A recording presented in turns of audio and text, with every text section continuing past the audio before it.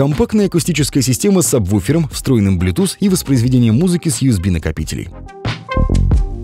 В этом видео познакомимся с Creative SBS E2500. Набор поставляется в красивой картонной упаковке и включает два сателлита, активный сабвуфер, пульт DU, кабель AUX, антенный кабель и инструкцию. Сначала посмотрим на колонки. Они совершенно одинаковые, имеют пластиковые корпуса с внешними размерами 9 на 8 на 13 см. Спереди установлен трехдюймовый широкополосный динамик. Он ничем не прикрыт и не защищен. Сзади выходит несъемный аудиокабель для подключения к сабвуферу длиной чуть больше 1 метра. Так как тут используется популярный разъем типа тюльпан, телефон, то при необходимости кабели можно будет нарастить, чтобы сателлита можно было поставить в большем удалении от сабвуфера. Теперь посмотрим на сабвуфер. Он выполнен в корпусе из МДФ, но лицевая панель пластиковая. Внешние размеры 16 на 27 на 26 сантиметров. На лицевую панель вынесены крупные кнопки управления и простенький дисплей. Справа на боку USB разъем и порт фазы инвертора. Динамик установлен снизу. Он имеет диаметр 5 дюймов и также ничем не защищен. Сзади разъем для подключения комплектной антенны, два аудиовхода и несъемный кабель питания для подключения к розетке 220 15 вольт. Теперь поговорим о звуке. Максимальная выходная мощность составляет 30 Вт. Из них 15 Вт сабвуфер и по 7,5 Вт сателлиты. Диапазон воспроизводимых частот от 50 Гц до 20 кГц. Соотношение сигнал-шум 75 дБ. Наконец, что касается функционала, то помимо двух аудиовходов, аудиосистема оснащена встроенным цифровым приемником FM-радио, аудиоплеером с функцией воспроизведения файлов с флешек и модулем Bluetooth для беспроводного подключения к смартфону или планшету. И не забывайте про комплектный пульт DU, с помощью которого удобно управлять громкостью и воспроизведением с расстояния.